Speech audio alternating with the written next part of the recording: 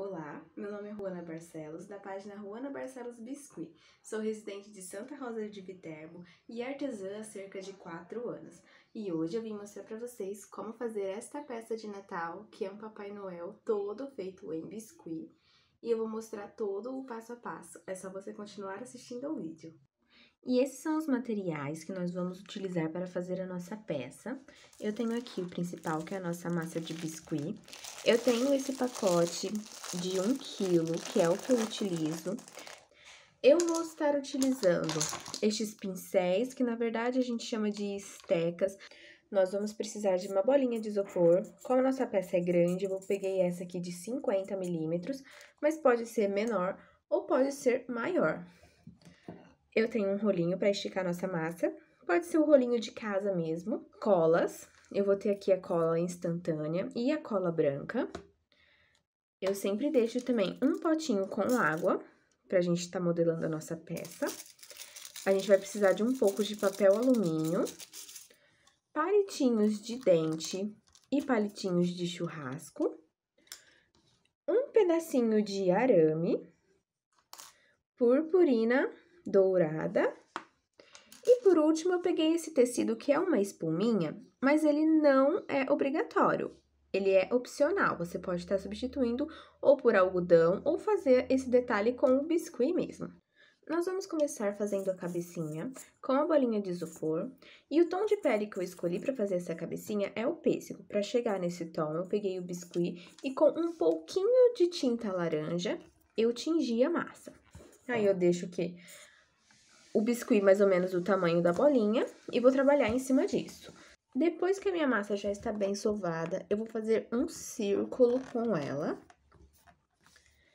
Vou achatar na palma da minha mão, pegar a bola de isopor e colocar bem no meio dessa massa. Agora, nossa intenção é cobrir toda esta bolinha. Vou usar esta parte da mão para empurrar a massa para baixo de todos os lados. Aí a gente vai empurrando até que quase toda a bola esteja coberta. Nesta fase, eu vou pegar a massa das laterais e trazer para o meio, cobrindo aqui nossa bolinha, desta forma. E empurra a massa para baixo, aproveitando e alisando todo o espaço da nossa massa. Depois de fazer todo o processo de alisar a nossa cabecinha para tirar todas as marcações, nós vamos pegar uma faquinha. Essa parte que ficou mais enrugadinha aqui, a parte de baixo da cabecinha, nós vamos cortar. E aqui a gente já consegue ter mais ou menos até o formato de uma cabecinha. Então, o que, que a gente vai fazer agora? Escolher o lado mais bonito da peça e a gente vai localizar a parte que está a bolinha e arrastando com o polegar a massa para baixo, criando uma divisão entre a parte superior e a parte inferior da cabecinha. Desta forma. Feito isso, eu vou localizar as bochechas e com o auxílio dos meus dois polegares, eu vou levar para cima, formando o nosso rostinho. Para a boquinha, eu pego um pedacinho de papel mais grossinho, ou até mesmo um papelão mais fino, em formato de U. Eu vou simplesmente marcar no meu biscuit aonde eu quero que seja a boquinha. E vai ficar com um belo sorrisinho. E assim ela ficou marcado e temos a nossa boquinha. Eu vou pegar um, pe um pedacinho de massa, bem pequenininho, fazer uma bolinha e colocar no meu narizinho. Para as orelhas, eu gosto de dar uma esticadinha nessa bolinha, como se fosse uma coxinha, e coloco nas laterais da minha cabecinha, bem aqui. Aí, eu vou pegar uma das minhas estecas e vou furar as orelhas da dentro da cabecinha e vou ajeitando com o dedo. E essa é a nossa cabecinha, nós vamos deixar ela secar por algumas horas e só depois nós voltamos a trabalhar nela. Agora, nós vamos fazer o corpinho do Papai Noel. E como eu não quero que a minha peça fique muito pesada, eu vou fazer uma estrutura de papel alumínio. Eu amasso ele Como ele é bem maleável, a gente pode criar qualquer tipo de forma, né? Até que fique em formato assim, mais ou menos de um croquetezinho. Feita a nossa estrutura, agora não tem segredo nenhum. Para cobrir ela, nós vamos pegar o biscoito branco, esticar e enrolar.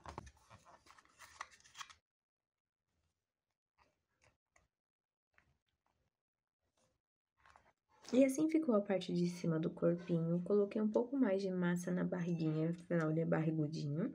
Não precisa perfe ser perfeito, pois nós vamos cobrir com o casaco com o biscoito vermelho. Enquanto aquela parte seca um pouquinho, nós vamos fazer as calças do Papai Noel. Com isso, eu peguei meia bolinha de isopor, uma bolinha que eu cortei ao meio, de 50 milímetros, e o biscoito tingido de vermelho. Eu vou cobrir esta bolinha. Com a minha bolinha coberta, vou pegar dois pedacinhos de massa deste tamanho, amassar e fazer dois rolinhos, bem simples. Um rolinho assim e o outro igual. A gente vai fazer as perninhas agora. Eu gosto de deixar a perninha ligeiramente mais grossa embaixo do que em cima, mas é pouca coisa. Aí, eu vou pegar a minha estaquinha e vou fazer um furinho na parte de baixo, que é onde a gente vai encaixar a botinha do Papai Noel depois, desta forma. E agora, eu vou pegar as duas partes e colar nas laterais aqui da nossa bolinha. Vamos deixar secando, enquanto isso faremos os bracinhos. Os bracinhos são as mesmas coisas que as perninhas, duas bolinhas que vão virar rolinhos. Eu também fiz o furinho na parte mais larga, a única diferença é que agora no bracinho nós vamos dobrar ele formando um L e com o auxílio da faquinha nós vamos dar dois cortezinhos aqui assim, para ficar parecendo dobrinha das roupas. Agora, com a nossa cabecinha já seca, eu vou pegar dois pedacinhos de biscoito preto para fazer os olhinhos. Com um pouquinho de massa, eu vou fazer uma bolinha, fazer uma coxinha e achatar. Vai ficar assim, uma coxinha alongada e achatada. E assim a gente começa a fazer a barba do Papai Noel. Eu vou colar isso aqui no queixo dele e seguir colando até toda a extensão das bochechas, deixando o maior no centro e ir diminuindo conforme a gente for colando. Vou mostrar para vocês como vai ficar. E ficou dessa forma, vocês veem que a barbinha do meio é a mais comprida e elas vão diminuindo até chegar aqui na orelhinha. E para dar um pouquinho de textura para essa barba, eu vou pegar a faquinha e vou dar uns risquinhos em cada um desses negocinhos que estão aqui. Olha como já dá um resultado bem legal. E agora nós vamos fazer o bigode do Papai Noel. Para fazer o bigode é bem fácil. Vou pegar dois pedacinhos de massa pequenininhos do mesmo tamanho. A gente amassa, faz uma bolinha, alonga ela, deixando a ponta bem fininha e a base mais grossa. Aí eu dou uma achatadinha bem de leve, não precisa ser muita coisa. E esta pontinha eu vou dar uma enroladinha desta forma e vou colocar debaixo do nariz do Papai Noel, fazendo uma barbicha. Vou fazer isso do outro lado também. E olha só como fica fofo. Já colei a barbicha e também já colei as sobrancelhas, que são só duas cobrinhas em cima dos olhos. E agora nós vamos fazer o cabelo. O cabelo eu quero fazer igual a barba. E foi assim que ficou, ó, o maior para os menores. Olha como fica bonitinho, super fofo.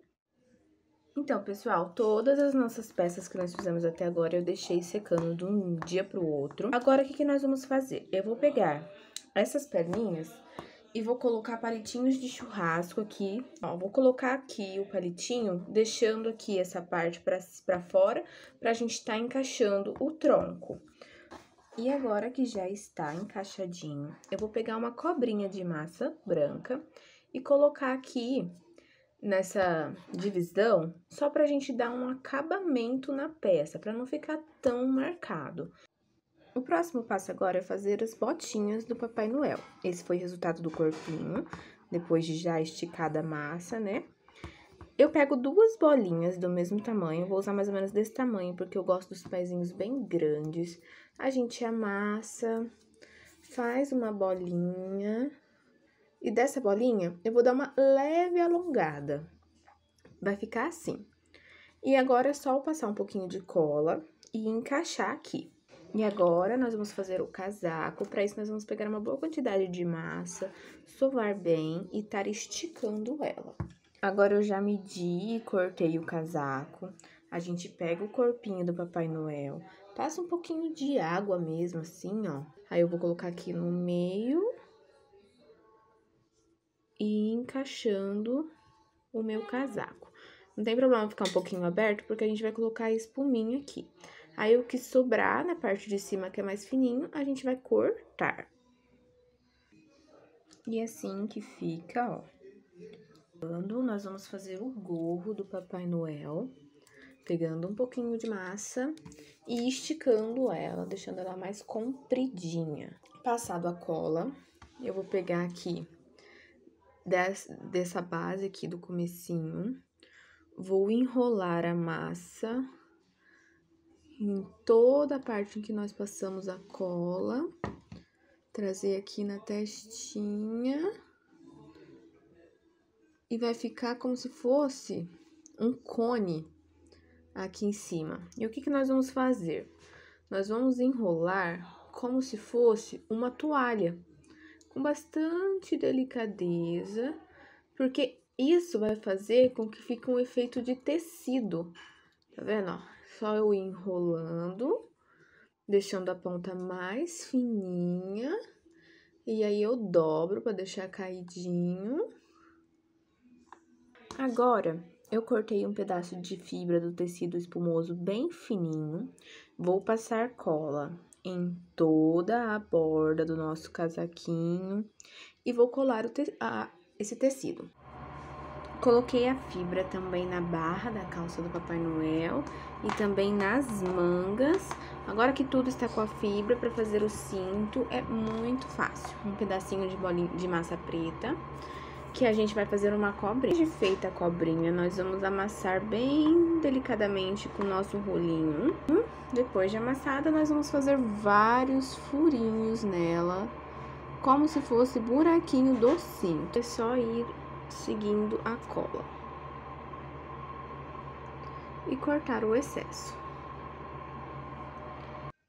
Eu deixei esse espacinho no meio, porque vai ser ali onde nós vamos colar a fivela, que nada mais é que um quadradinho que a gente faz com risquinho no meio. Eu vou esperar esse quadradinho secar, mergulhar ele na cola e depois na purpurina dourada. Agora, nós vamos colar as mãos e os braços. Para fazer as mãos, né, as luvinhas, nós vamos fazer uma bolinha, enrolar ela e alongar. E também achatá-la, ficar no, formato de uma coxinha amassada. Com uma faquinha, nós vamos estar cortando a ponta desta coxinha para fazer o dedão. A gente dá uma ajeitadinha com os dedos dos dois lados. E assim já temos a nossa luvinha, que é só encaixar no bracinho com a cola branca.